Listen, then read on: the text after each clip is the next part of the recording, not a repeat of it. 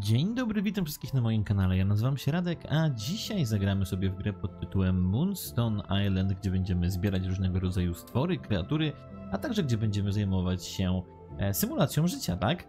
Zobaczymy, jak będzie wyglądało nasze życie na e, wyspie księżycowego kamienia. Ja jestem bardzo ciekawy, mam nadzieję, że Wy też. Zapraszam Was do oglądania i subskrypcji mojego kanału. Kliknijcie subskrybuj właśnie teraz, jeśli tego jeszcze nie zrobiliście.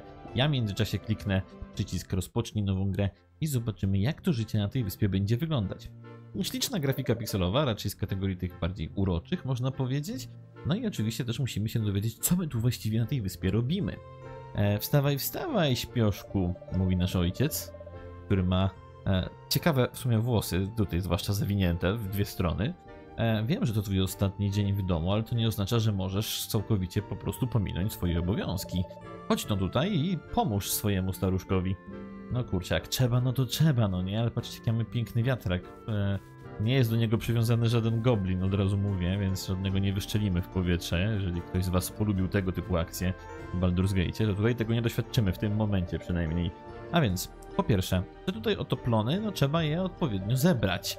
E, ty możesz wybrać się niedługo na bardzo długą podróż i poza tym wszystkim e, będą ci może potrzebne i będziesz musiał też decydować, którą wyspę wybierzesz sobie jako swój nowy dom. Nie chcę, żebyś więc e, wychodził z naszego domu z pustymi rękoma i dodatkowo głodny. A więc e, zacznijmy. E, podwiń swoje rękawy i zbierz te oto tutaj e, plony. A, no i przy okazji, czy mógłbyś też zebrać te tutaj, nie wiem jak to nazwać, kapelusze przy wybrzeżu? No pewnie, żebym mógł. Proszę bardzo, hopsa, ja to, to już zbieram. Mamy lilipad zgarnięte i teraz co, kwiatuszki zbieramy.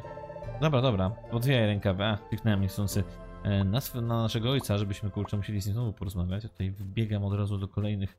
Halo, Przepraszam bardzo. Chciałbym to... Nie jestem w stanie tego otworzyć, najwyraźniej tam już nie mam dostępu.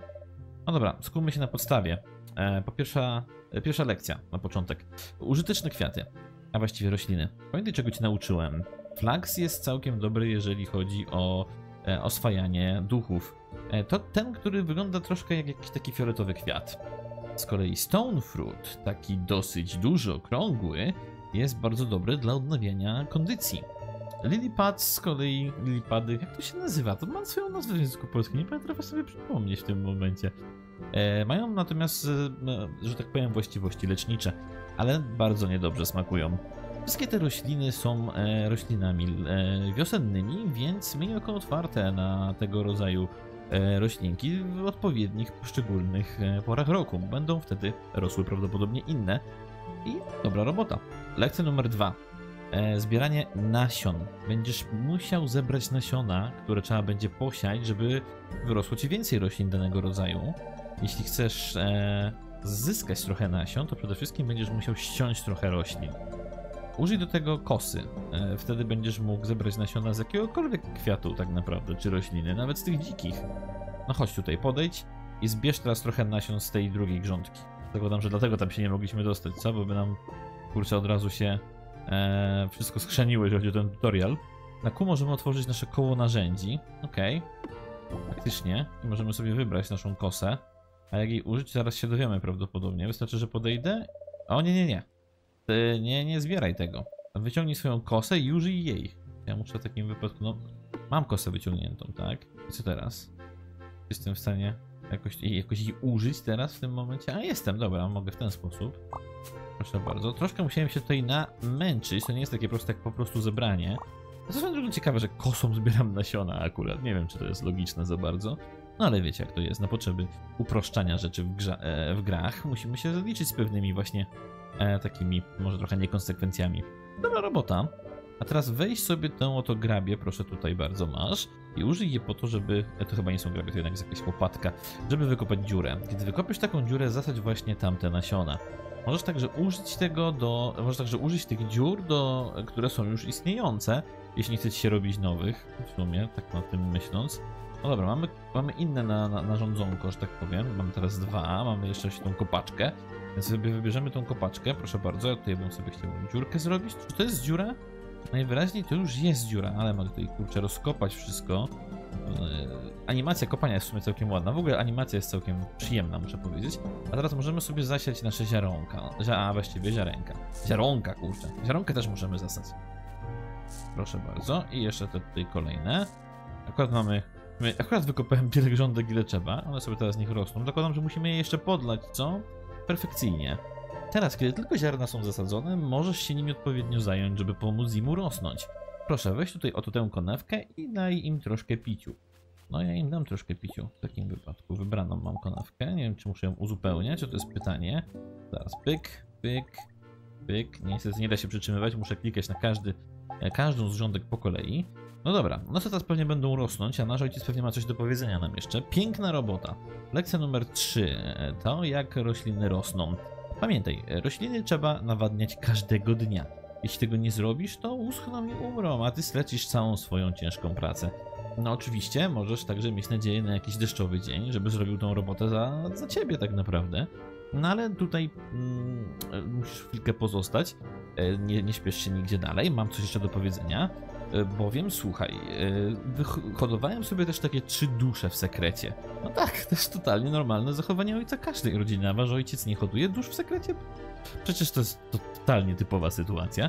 One wciąż potrzebują co prawda więcej treningu, ale będą wystarczająco silne, żeby cię uchronić przed jakimś niebezpieczeństwem. E, Pewnie mm, już to mogłeś widzieć. To medalion twojej matki. To pewnego rodzaju portal do innego wymiaru, gdzie dusze przebywają. Ja nie wiem, czym się nasza matka zajmowała, ale jeżeli taki medalion nosiła na co dzień, to boję się pytać o inne części jej garderoby. W każdym razie medalion jest teraz twój. No i dodatkowo jeszcze e, włożyłem weń e, te dusze, które trenowałem. Możesz tam już znaleźć w tym momencie. Zawsze możesz skoczyć do medaliona, wybrać taką jedną jako swojego kompaniona. To nie jest żaden test, nie przejmuj się, one wszystkie są bardzo dobre. No dobra, w takim wypadku możemy sobie teraz skoczyć do tej naszej, do naszej matki. I są faktycznie tutaj trzy różne dusze, które możemy sobie wybrać. Dinozaur, dziwny małpiszon i wkurzona pszczoła. I myślę, że wkurzona pszczoła to jest nasz wybór. Kapasibi. Okej, jakie ona ma statystyki? Możemy sobie tutaj... Ona ma karty w ogóle. Ty te Pokemony, znaczy, przepraszam bardzo, nie Pokemony absolutnie, będą używały kart, żeby walczyć. Okej, to już mi się zaczyna podobać. Wybierzemy sobie tę właśnie duszkę. Chodź, moja wkurzona pszczółko. Ale musisz ze mną iść, jeżeli... Przynajmniej bardzo bym chciał, żebyś ze mną poszła. Może tak wyjdę, to ona też się tam przemieści? Najwyraźniej nie tak łatwo. Kappa Sibi, bardzo dobry wybór. Ja tak właśnie myślałem, że możesz wybrać tą właśnie. Co? Taki jestem złym dzieciakiem wkurzonym przez cały czas, że wkurzona pszczoła to była pierwsza myśl naszego ojca o tym, że to właśnie ją wybierzemy. No ale dobra.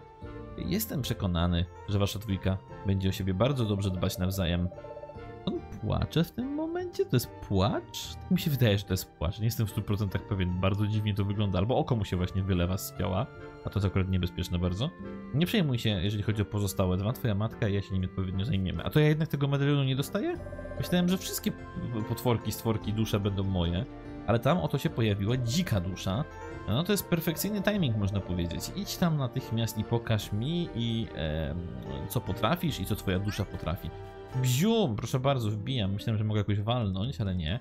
Jest nasza pszczółka wkurzona. A tutaj się pojawił Gemlin. Mamy ją po dwa tarczy, jak widzę, my mamy trochę mniej HP, ale mamy te same levele. Mam nadzieję, że będziemy mieli przynajmniej więcej ataku. Mm, On ma większą prędkość niż my, więc on będzie wykonał pierwszy ruch. No dobra, no to proszę bardzo. On tutaj rzucił kamieniem, tak? Zrobił nam 6 punktów życia, czyli jeszcze takie 3 ataki możemy przyjąć. Czyli trzeci atak nas zabije już. Czas na lekcję czwartą. Jak wygnać duszę? No to się może przydać w tym świecie, coś czuję. Będziesz musiał odpowiednio, że tak powiem, em, podbić te dusze, uspokoić je. E, one nie są tak naprawdę, nie powinny być aż tak agresywne. Najważniejszą rzeczą do zapamiętania jest to, że armor blokuje atak damage. Dobrze, jest to w porządku. Mamy dwa armoru w tym momencie. Jeśli zredukujemy, zredukujemy armor do 0, to spowodujemy, że będą one troszeczkę e, zmieszane i będziemy mogli zadać więcej obrażeń. Możesz redukować armor na dwa sposoby. Albo użyć karty, która niszczy ten właśnie armor, albo atakować z elementem, na który dany stworek jest e, słaby. Spróbuj użyć baszu w tym momencie do tego, żeby zredukować armor i w ten sposób spowodować, że będzie otwarty na atak. No ja mam basz faktycznie. To co, ja go czaszkam, czaskam baszem, ale czy mogę więcej użyć ruchów? Bo w sumie mam te dwa kryształki tutaj, które by sugerowały, że jeszcze mogę dwie akcje podjąć. I perfekcyjnie, już mu jedną w tym momencie sztukę armoru zabraliśmy, a my jesteśmy, połączenie między mną a mm, stworkiem jest już wystarczająco duże, tak jak mówi nasz ojciec, więc jakby ja mu ufam, nie? Przecież w końcu jest moim ojcem, on tylko w sekrecie hodował duszę, nie? Jakby nie robił niczego złego. Nie zapomnij, jeżeli zredukujesz armor do zera, to on będzie wtedy dizzy, będzie skonfundowany, a to spowoduje, że straci turę. I chcielibyśmy jeszcze jedną tarczę mu zabrać w takim wypadku.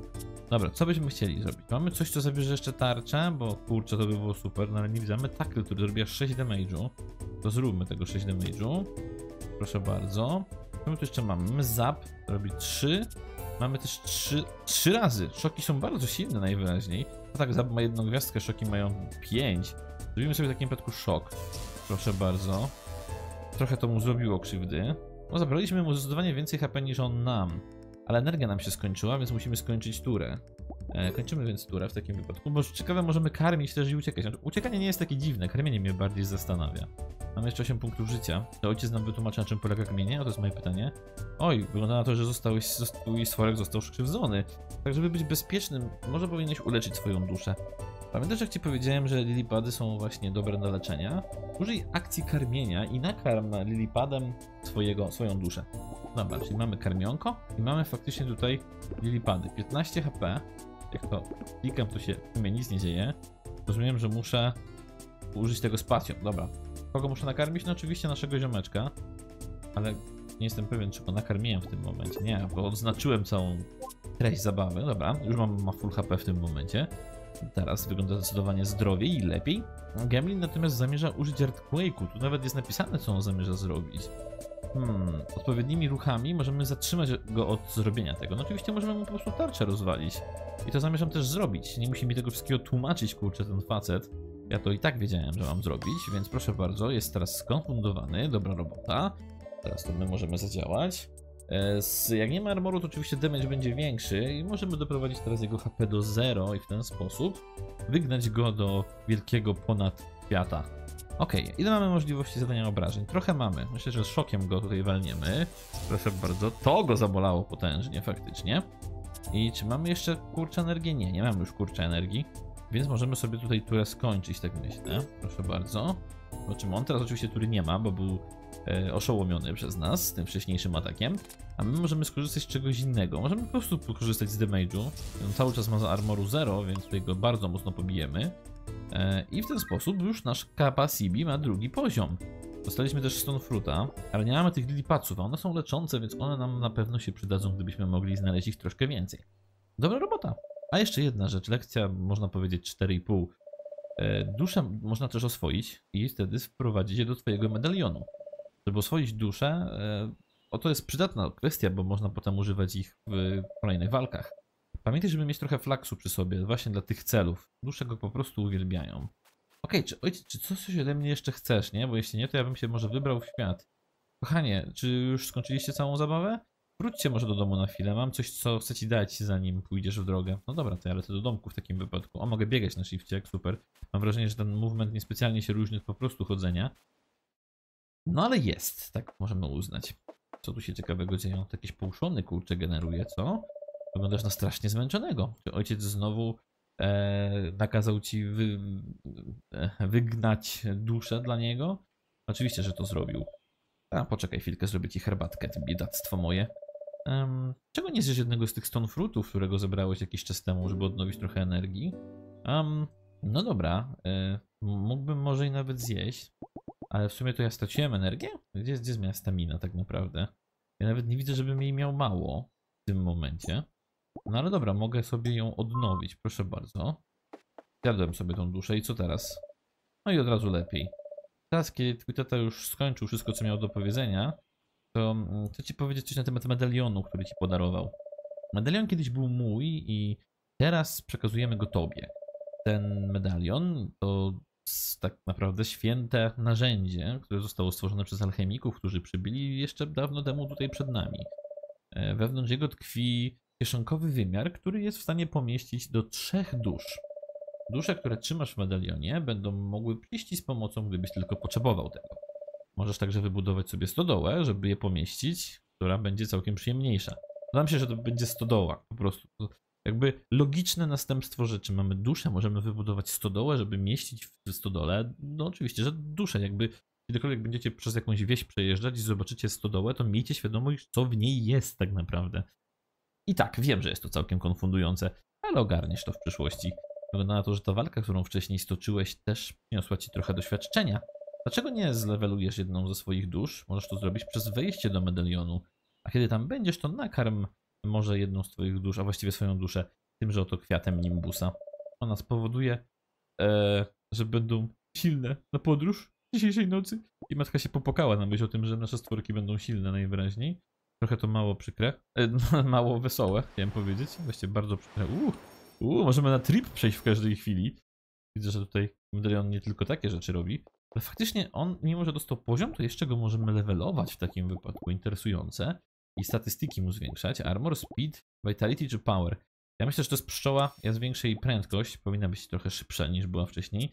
I myślę, że ten lepszy bash sobie zgarniemy. Trzeba rozwalać tarczę przeciwnikom. Możemy też nakarmić, jak rozumiem, tą pszczółkę.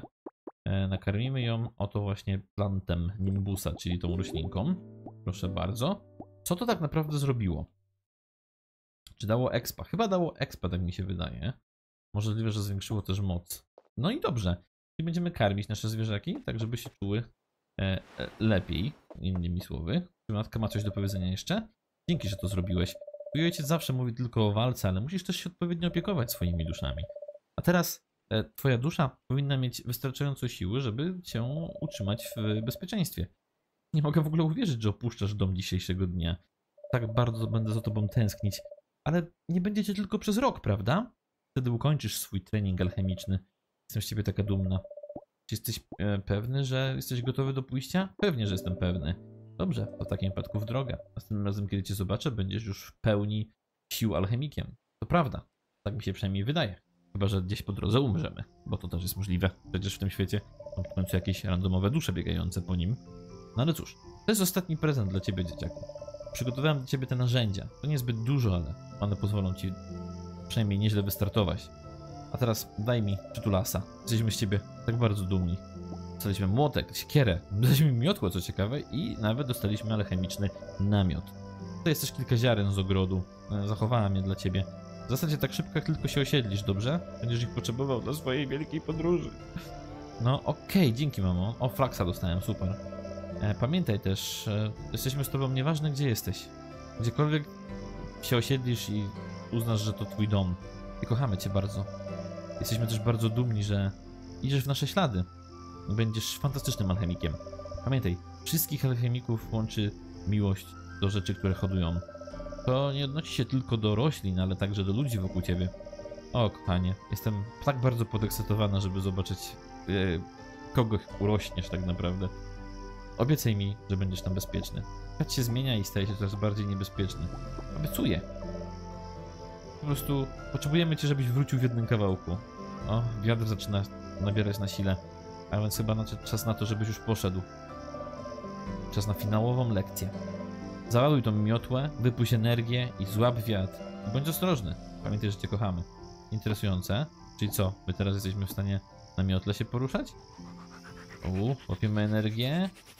Proszę bardzo. I lecimy sobie w silną dal. Nie wiedziałem, że będziemy na miotle latać w tym miejscu. W ogóle ta gra mnie trochę estetyką zaskakuje.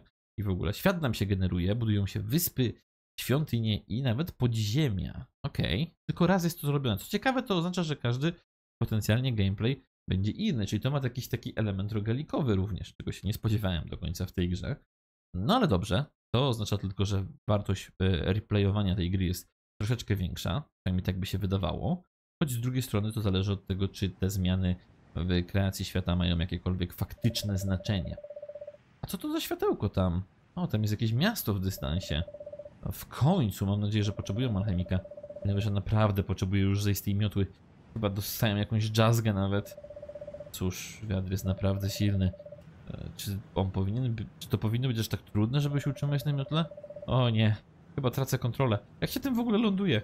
No tak, tego rodzice nam już nie wytłumaczyli. Jakby oni mieli mnóstwo czasu, żeby nas przygotować na tą podróż, nie? Jakby, bo to było jasne, że się wybierzemy na tą podróż, ale nikt, nikt nie kiwnął palcem. Dopiero w ostatni dzień się nagle obudzili. O, i tyle by było z mojej nowej miotły. Ech. Upuściłem też narzędzia, które mi ojciec dał i jeszcze ziarna mamy. Boże, wszystko się spierniczyło w tym momencie. Koniec świata. Chodzi o to, że nie opuszczę tego miejsca zbyt szybko. Mam nadzieję, że to nie jest jakiś zły omen. Lepiej się porozglądam i zobaczę, czy jestem w stanie znaleźć te nasiona i narzędzia, które upuściłem. Okej, zapis został wykonany dzięki zakupowaniu DLC, pewnie, że tak. E, Ale my idziemy dalej. My idziemy zobaczyć, co możemy tutaj wykonać. Właściwie może jakieś narzędzie byśmy... Uuu, nie mamy narzędzi. Mamy tylko naszego stworka. I piękny kwadratowy las niczym z Minecrafta. Pytanie brzmi, co możemy z tym faktem zrobić? E, Tutaj jest, jest, jest nasza ta, jest siekierka. Bardzo bym ją chciał wziąć. Siekierka już pozwala mi... Ja nawet nie wiem, na co mi pozwala siekierka na rąbanie drewna. Jest też młotek. Okej. To, to jest zaskakująco... A, a proszę bardzo, młotkiem mogę kamienie rozwalać. No i pięknie. Jakbym potrzebował... Nie, nie wiem po co mi one są w tym momencie, ale jestem w stanie je spokojnie rozwalić. Coś nawet... Czy tam była dziura? Czy tam... Znalazłem suddenly jaskinię. Nie spodziewałem się jej znaleźć w tym miejscu. Rozwalanie tych y, złotych... A to nawet nie jest złoto, to jest po prostu koper, ok?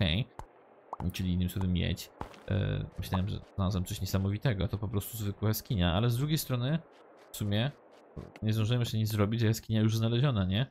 Dobra, ale tutaj może zanim się zacznę poruszać w jaskinie, to znajdę jeszcze kolejne swoje narzędzia. One tutaj muszą być. Pytanie brzmi gdzie? No i też widać, że początek tej gry jest bardzo taki mocno... O, więcej ziaren. Tutaj też jest kolejna moja rzecz. Zniszczona miotła. Niestety zniszczona. I kolejny kwiatek. Flaksik. Właśnie, może... O, co się nam dzieje? Odpiernicza nam w tym momencie. I po prostu poszliśmy spać, nie? Bo się nie, nie zdążyliśmy się dostać do łóżka. Problem polega na tym, że my nie mamy łóżka. Poniedziałek, pierwszy dzień wiosny. Wyszło jak wyszło, że tak powiem. Zapisujemy i idziemy spać. Niestety e, wygląda to tak, że... Ale okej, ktoś nas znalazł najwyraźniej i nawet wstawił do łóżka. O, już wstałeś, wszystko w porządku? Widziałem jak, wy... Widziałam, jak wypadłeś z nieba ostatniej nocy i potem znalazłam cię w lesie na ziemi. E, Więc poprosiłam Quilla, żeby cię tutaj przeniósł i byłam bardzo zmartwiona, kiedy się nie budziłeś, ale w końcu ci się udało obudzić. Wychodzi na to, że e, musisz być nowym alchemikiem, tak patrząc na ciebie. Jakie to ekscytujące. Albo może jakimś, nie wiem, e, cyrkowcem. W każdym razie możesz zostać w tym e, pokoiku, jeśli sobie życzysz e, mieć jakieś miejsce, w którym możesz się przespać. To znaczy, nie chciałem mówić o żadnym spaniu. Chodzi raczej o to, że no, generalnie jest to trochę wstydliwe. W sumie to nie wiem czemu. Znaczy, nie wiem czemu to była już wzmianka ode mnie w tym momencie, ale... Anyway, możesz tutaj spać, jeśli chcesz. W końcu jednakże będę musiała poprosić ciebie o czynsz jakiś, żeby nie było. A, i chyba to są twoje narzędzia. Znalazłam je przy tobie tam w pobliżu. E, Były rozsiane po całym miejscu. Mam nadzieję, e, że to ok, że je podniosłam. Jeśli potrzebowałbyś e, ustawić swój namiot, to polecam północną część miasta. E, Nawet ci tam zrobię miejsce. Też nie przejmuj się tym, możesz, jeśli chcesz, pościnać trochę drzew i trawy, jeśli tylko potrzebujesz. Będziesz miał miejsce właściwie całe dla siebie. Wychodzi na to, że możesz się też tak naprawdę rozsiąść na jednej z okolicznych wysep, jeśli e, chcesz, ale tam są też dzikie dusze, więc trzeba uważać. Wydaje mi się, że może powinieneś troszkę na razie pochillować. W każdym razie, e, ile potrzebujesz czasu, tyle poświęć na to wszystko. Jesteś trochę poobijany, więc i tak e, może warto by to było zrobić, ale chyba przynajmniej nic nie złamałeś. Mogę mieć też dla ciebie trochę roboty, gdybyś chciał, więc wpadnij na dół, kiedy będziesz gotowy. Okej. Tutaj się troszkę na dzień dobry zaczęło rzeczy, ale przynajmniej mamy chyba wszystkie nasze narzędzia. Tu mamy siekierę i w tym momencie ją sobie wyposażymy. Mamy też trochę rzeczy tutaj już różnych. Mamy też zniszczoną miotłę przede wszystkim. Trzeba będzie ją pewnie sprzedać i kupić nową. Dobra, co tu się dzieje ciekawego na? To ona ma jakąś karczmę w ogóle. Siemanko. A jeszcze się nawet nie przedstawiłem. Nazywam się Osono. Oczywiście widzimy też od razu system e, e, przyjaźni, że tak powiem, z postaciami. Więc generalnie e, rodem większości gier z gatunku live simów, to się tutaj będzie pojawiało też. Ona prowadzi tawernę na tej wyspie. Możemy wpaść kiedy tylko chcemy. Oczywiście tawerna jest otwarta, ponieważ to też jest system, który teraz wszędzie w li- live simach jest dostępny, czyli pewne budynki i lokacje są niedostępne o niektórych godzinach, jeżeli chodzi o godziny in-game'owe, rzecz jasna. O, mam też coś dla ciebie. E, Mam tutaj taką recepturę na e, skrzynkę do sprzedaży rzeczy. Wybuduj sobie jedną gdziekolwiek ci się podoba. Kiedy tam cokolwiek wrzucisz, to tam, na przykład jak plony czy przedmioty, to potem ja to sobie zbiorę na koniec dnia i zapłacę ci za wszystko, co tam będzie. Jeśli będziesz potrzebować innych może przepisów, czy też schematów, to będziesz musiał sobie je sam znaleźć, tak się obawiam. Słyszałem, że e, podziemia i kopalnie to dobre miejsce, żeby tam wystartować. A i jeszcze jedna rzecz. Mogę cię o coś prosić? E, Potrzebuję trochę kamienia, żeby odbudować pewne, żeby poprawić pewne szkody, które się mi wydarzyły w piwnicy. Nie pytaj. E, Jeśli miałbyś czas, mógłbyś mi trochę przynieść? Eee, trochę mam ochotę zapytać, ale jasne. Dzięki, życie mi uratujesz. Po prostu połóż kamienie w swojej skrzynce do sprzedaż i ja je wtedy ogarnę. Okej, i od razu możemy poprosić na randkę, nie? Jakby dzień dobry, koleś wpadł do tej wioski, lecimy. Nie ma czasu, trzeba randkować. Trzeba hardo szybko działać. Są też oczywiście inne postacie. To typ znowu, tym się pierwszy raz widzimy. Eh, dziwne ubranie. Musisz być tym nowym alchemikiem. Ja jestem Gajana, pracuję w konserwatorium. Jeśli mm, nie masz nic przeciwko, to ja muszę stąd już iść. No dobra, to, nara w takim wypadku, Boże Święty. Good riddance, nie ma problemu. Próbujesz wyjść, to idź. Co my tu mamy? List przyleciał do nas, dosłownie. E, Dzień dobry, kochanie. Twój tata myśli, że to trochę głupie pisać list tak szybko po tym, jak go opuściłeś nas, ale miałem okropny sen, że złamałeś sobie swoją miotłę. Nigdy bym sobie nie wybaczyła, gdyby coś ci się stało. Jestem przekonana, że wszystko z tobą ok, ale zostawiałem ci jeszcze taką dodatkową, dodatkowy schemat e, w, w baloniku. Na wypadek, gdyby było coś nie tak. Mm, Mam nadzieję. A i nie obawiaj się zbudować mostów, jeżeli latanie jest zbyt niebezpieczne dla ciebie. Tata mówi, że e, kiedy tata był nowym alchemikiem, to on używał właściwie tylko i wyłącznie mostów, żeby dostawać się pomiędzy poszczególnymi wyspami. Mam nadzieję, że sobie dobrze radzisz, kochanie. No, mama pewnie byłaby zaskoczona, gdyby się dowiedziała, że Amy to nie w balonie zostawiła recepturę, tylko balonu recepturę zostawiła. Mama pewnie by się bardzo zdziwiła, wiedząc, że już się zdążyliśmy rozbić i tak naprawdę wylądować na nieznanej wyspie. I też tak naprawdę, gdyby nas ktoś nie znalazł przypadkowy, randomowy, to być może byśmy już nie żyli. Także mamo, e, nie musisz tych rzeczy wiedzieć, nie? Jakby, bo to się może troszkę źle dla ciebie odbić na psychice. To na pewno. Moi drodzy, tak mniej więcej wygląda Moonstone Island. Jak widzicie, gra o rozkosznej grafice e, z walkami Pokémonów, ale też z systemem rodem z e, Stardew Valley, więc bardzo ciekawe połączenie, które może e, trochę świeżości wwiać, że tak powiem, w system live simów. Ich jest ostatnio, mam wrażenie, mnóstwo tak naprawdę. Nie żeby to było coś złego, im więcej live simów w sumie, tym lepiej.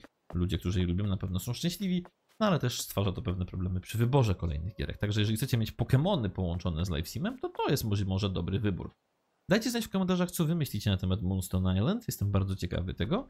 A my słyszymy się już niedługo w kolejnym odcinku. Subskrybujcie kanał. Widzimy się niedługo. Hej!